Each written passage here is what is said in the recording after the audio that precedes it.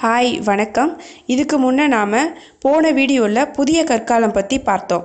இந்த வீடியோவில் நாம் உலோக காலம் பற்றி பார்க்க போகிறோம் புதிய கற்காலத்தின் அடுத்த கட்ட வளர்ச்சி நிலைதான் உலோக காலம். புதிய கற்காலத்துக்கும் உலோக காலத்துக்கும் இடையில் நடந்த வளர்ச்சி மாற்று நிலைகளை பற்றி கொஞ்சம் நம்ம பார்க்கலாம். ஆதி காலத்தில் மனிதன் குகைகளில் வாழ்ந்தார்கள். அதன் பிறகு நிலையாக ஒரு இடத்தில் தங்கி வாழ ஆரம்பித்தாங்க அப்புறம் கற்களை வச்சு தனக்கென வீடு கட்ட ஆரம்பித்தாங்க அதன் பிறகு மண் வீடு கட்டி குடிசைகளில் வாழ்ந்தார்கள். இந்த குடிசைகள் வட்ட வடிவத்தில் அல்லது நீள் வட்ட வடிவத்தில் இருக்கும்.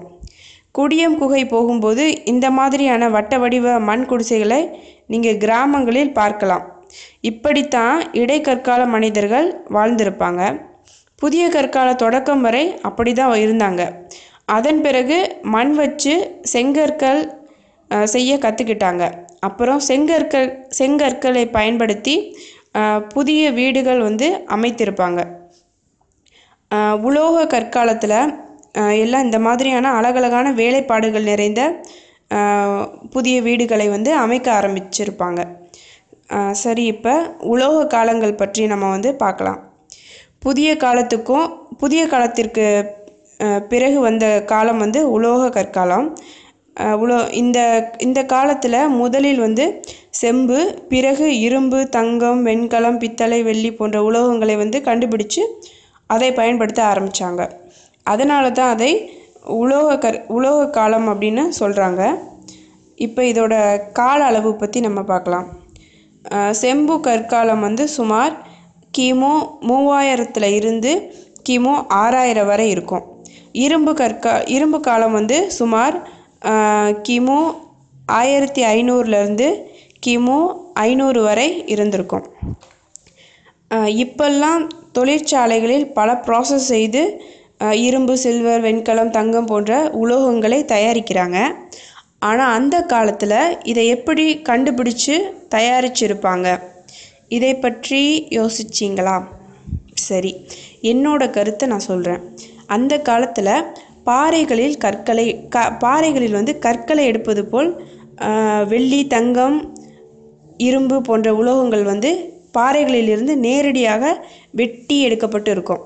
அதை அப்படியே வந்து நெருப்பில் வச்சு உருக்கி அதை வைத்து ஆபரணங்கள் நாணயங்கள் பாத்திரங்கள் வந்து செய்திருப்பாங்க. இது வந்து என்னோட சொந்த கருத்து தான் இப்படி தான் இருக்கும்னு நான் சொல்லலை. முதலில் செம்பை கண்டுபிடிச்சு பயன்படுத்திய காலம் வந்து செம்பு காலம்னு சொல்கிறாங்க அதன் பிறகு இரும்பை கண்டுபிடிச்சு அதை பயன்படுத்திய காலம் வந்து இரும்பு காலம். செம்பு கற்கால மக்கள் வந்து தாங்கள் பயன்படுத்திய மண்பாண்டங்களின் மேல் வண்ண ஓவியங்கள் வரைந்தார்கள். அப்புறம் ஹரப்பா நகர நாகரிக காலத்தை சேர்ந்த மக்கள் வந்து செம்பு கற்கால மக்கள். அப்புறம் அதுக்கப்புறம் இரும்பு காலமும் வேத கால நாகரிகமும் ஒரே காலத்தை சேர்ந்தது. இப்போ கிடைக்கிற உலோக தாதுகளை வச்சு எப்படி பிற உலோகங்களை செய்தார்கள்னு பார்க்கலாம். எப்படின்னா ரெண்டு உலோகங்களை சேர்த்து புதிய ஒரு புதிய ஒரு உலோகத்தை வந்து செய்வாங்க. அதை பற்றி பார்க்கலாம். இரும்பையும் குரோமியத்தையும் சேர்த்தா நமக்கு சில்வர் கிடைக்கும். செம்பையும் வெள்ளியத்தையும் சேர்த்தா நமக்கு வெண்கலம் கிடைக்கும். செம்பையும் துத்தநாகத்தையும் சேர்த்தா நமக்கு பித்தளை கிடைக்கும். இரும்பையும் மேங்கனீஸையும் சேர்த்தா நமக்கு எஃகு கிடைக்கும். இரும்பை பயன்படுத்திய காலத்தை இரும்பு காலம் என்று சொல்கிறோம். அது மட்டும் இல்லை இந்த இரும்பு காலத்துக்கு பெரும் கற்குவை காலம் என்ற பெயரும் ஆங்கிலத்தில் மெகாலித்திக் ஏஜ் என்கிற பெயரும் இருக்கிறது. பெரும் கற்பேலைகளை இம்மக்கள் பயன்படுத்தியதால் இதற்கு பெரும் கற்குவை காலம் என்று பெயர் வந்தது. இந்த காலத்தின் கடைசி எல்லை தொகை நூற்களின் காலத்தில் சென்று இணையும் என்று ஆராய்ச்சியாளர்கள் சொல்கிறார்கள். அதை பற்றி நாம் அடுத்து வரும் சங்க காலம் பற்றிய வீடியோக்களில் விரிவாக பார்க்கலாம். இந்த இரும்பு காலம் கடைச்சங்க காலத்துக்கு முந்தைய சமூக சமய பண்பாட்டு நிலையை நமக்கு உணர்த்துகிறது. பெருங்கற்புதைவு என்றால் இறந்தவர்களை பெரிய தாழிகளில் வைத்து புதைத்து அதுக்கு மேலே பெரிய கற்களை அடுக்கி வச்சிடுவாங்க. இதைத்தான் பெருங்கற்புதைவு அல்லது பெரும் கற்பேலை என்றெல்லாம் சொல்கிறார்கள். பெருங்கற்புதைவுகளை அல்லது கல் மாடங்களை மலைச்சரிவுகளிலும் குன்றுகளின் முகடுகளிலும் அமைத்தனர். இதை எப்படி செய்தார்கள் என்று நாம் பார்க்கலாம். முதல்ல தாளிகளில் இறந்தவர்களை வைத்து அகன்ற குழிகளில் அந்த தாளிகளை வைத்து அதைச் சுற்றிலும் அகன்ற கற்பலகைகளை நாட்டினர். அல்லது குழியிலேயே கற்களை அடுக்கி வைத்து கற்பேலைகளால் ஆன பெரிய குழிகளை அமைத்தனர். பெருங்கற்புதைவுகளிலே ரெண்டு முறையில் செஞ்சுருக்காங்க. இந்த முறை தமிழகம் முழுவதும் இருந்தது. கேரளத்தில் கூட இந்த முறை இந்த முறையில் தான் புதைத்தனர். அதற்கான சான்றுகள் வந்து கிடைத்திருக்கு. அதை பற்றி கேரள வரலாறு பார்க்கும்போது விரிவாக பார்க்கலாம். இந்த குழிகள் குழி வட்டங்களாகவோ குகை வட்டங்களாகவோ அமைந்தன. குழிகளின் கீழும் மேலும் கற்பலகைகளை அடுக்கினர். குழியை குழியைச் சுற்றி ஒற்றைக்கல் ஒற்றைக்கல் வட்டத்திலும் இரட்டைக்கல் வட்டத்திலும் கற்பலகைகளை நாட்டினர். குழு இந்த குழிகளும் வந்து அமைத்தனர்.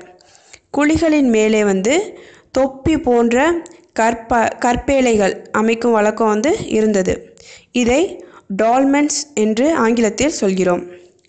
கோவை மாவட்டம் பல்லடம் வட்டத்தைச் சேர்ந்த செட்டிப்பாளையம் ஊருக்கருகில் மண்முகட்டு பெருங்கற் புதைவு கிடைத்தது. அம்மக்கள் புதைக்குழிக்குள் பல வகையான மட்பாண்டங்களை வைத்தனர். அவற்றுள் கருமை நிற மட்பாண்டங்கள் நீர் அருந்தும் குவளை எல்லாம் இருந்தது. குவளைகளின் மூடி மீது மான் வடிவங்கள் செதுக்கப்பட்டிருந்தன. அந்த கால மக்கள் ரொம்ப ரசனைக்காரர்களாக தான் இருந்திருப்பாங்க போல். இப்போ நாம் பயன்படுத்துகிற டம்ளர்ல எல்லாம் எந்த டிசைனும் இருக்கிறதில்ல. இது தவிர அந்த புதைவில் வந்து யானை மறுப்பு அதாவது யானையோட தந்தம் சிப்பி மணி தலையணை இதெல்லாம் இருந்தது. இதெல்லாம் வச்சு புதைச்சிருக்காங்க. பெருங்கற் புதைக்குழிகள் வந்து சானூர் அமிர்தலிங்கம் கோயம்புத்தூருக்கும் ஈரோட்டுக்கும் இடைப்பட்ட பிரதேசங்கள். எடுத்துக்காட்டாக கொடுமணம் அப்புறம் தென்னார்காடு மாவட்டத்தில் சங்கமேடு திருச்சி மாவட்டத்தில் திருக்காம்புலியூர் அழகரை உறையூர் முதலிய இடங்களில் வந்து காணப்பட்டன. புதைகுழிகளில் அம்புத்தலைகள் வெட்டுக்கருவிகள் குத்துக்கருவிகள் இதெல்லாமும் இருந்தது. மாண்ட முதுமக்களை வந்து பெரிய மண்தாளிகளில் அடக்கும் வழக்கம் தமிழகம் முழுவதுமே இருந்திருக்கு.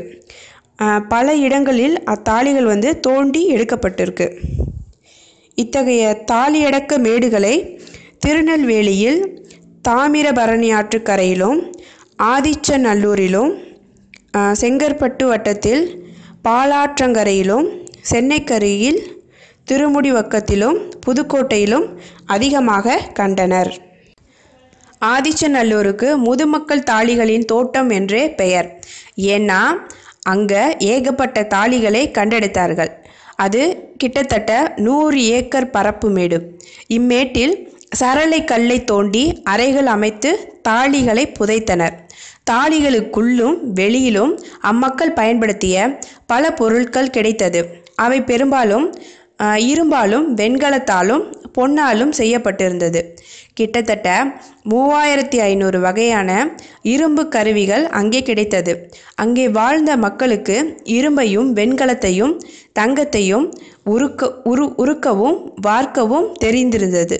எனவே அவர்கள் இரும்பு காலத்தை சேர்ந்தவர்கள் என்று நம்ம எடுத்துக்கலாம். ஆதிச்சநல்லூரில் பழைய கற்கால மக்கள் பயன்படுத்திய கற்கருவிகள் கூட நிறையா கண்டெடுக்கப்பட்டது. இதிலிருந்து அந்த பகுதிக்கு நீண்ட நெடிய வரலாறு இருக்கிறது தெரிகிறது.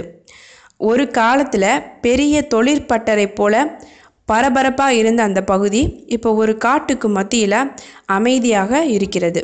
அங்கு எலும்புக்கூடு விலங்குகளின் வெண்கல உருவங்கள் சேவல் நாய் எருமை உருவங்கள் அப்புறம் இரும்பாலான குருமார்களின் நெற்றி பட்டங்கள் சூளம் சங்கு வளையல்கள் எல்லாம் கிடைச்சது. அவங்க என்னென்ன செய்தார்கள்னு பார்க்கலாம். பாறைகளை பிளந்தனர். சிவப்பு கருப்பு மட்பாண்டங்களை செய்தார்கள். உழுது நெற்பயிரிட்டனர். அறவோரை மதித்தனர். இறை வழிபாட்டு முறைகளை வகுத்தனர். முருகனை வழிபட்டார்கள். வசதியான வாழ்க்கையை அமைத்தனர். நறுமணப் பொருட்களை பயன்படுத்தினர். ஆதிச்சநல்லூரில் கிடைத்த சான்றுகள் திருச்சூரிலும் ஐதராபாத்திலும் ஈஸ்டர் தீவிலும் மேற்காசியாவிலும் கிரீஸ்லையும் கிடைத்த சான்றுகளை ஒத்திருந்தது. எனவே அக்காலத்தில் ஒரு பரந்த பண்பாடு அஹ், எல்லா இடத்துலையும் பரவி இருந்தது என நம்ம கருதலாம். இதில்தான் சங்க கால தமிழர்கள் வாழ்ந்தார்கள். செம்பு வெண்கலத்தை விட இரும்பு அதிகமாக பயன்படுத்தப்பட்டுள்ளதால் இதை இரும்பு யுகம் என்றே சொல்வார்கள். தமிழ் மொழியை தாமிலி எழுத்துக்களில் எழுதினர். தமிழகத்தில் எல்லா பகுதிகளிலும் வாழ்ந்த சாதாரண மக்கள் கூட எழுத படிக்க தெரிந்தவர்கள். இதை மட்பாண்டத்தில் பொறிக்கப்பட்டுள்ள எழுத்து சாசனங்கள் மூலம் தெரிஞ்சுக்கலாம். இந்த மக்கள் சிவனையும் தாய் கடவுளையும் வழிபட்டனர். யோகம் தவம் ஆகியவற்றின் உயர்வை உணர்ந்திருந்தனர். வானயியல் ஆய்விலும் வல்லுநர்களாக விளங்கினர். அஹ் இதை மேலும் அவர்களுடைய முத்திரைகள் மூலமாக நாம் தெரிஞ்சுக்க முடியும். சாட்டர்ஜி என்ற தொல்பொருள் ஆய்வாளர் என்ன சொல்கிறார்னா வைதிக சமயத்தில் வருகின்ற மரபுகளும் புராணங்களில் வருகின்ற கதைகளும் வீரர் வீரர் வாழ்க்கை வரலாற்று குறிப்புகளும் ஆரியர்களின் வருகைக்கு முற்பட்ட திராவிட இந்தியாவில் நிலவிய ம மரபுகளிலிருந்தும் கதைகளிலிருந்தும் தோன்றியதுன்னு அவர் சொல்கிறாரு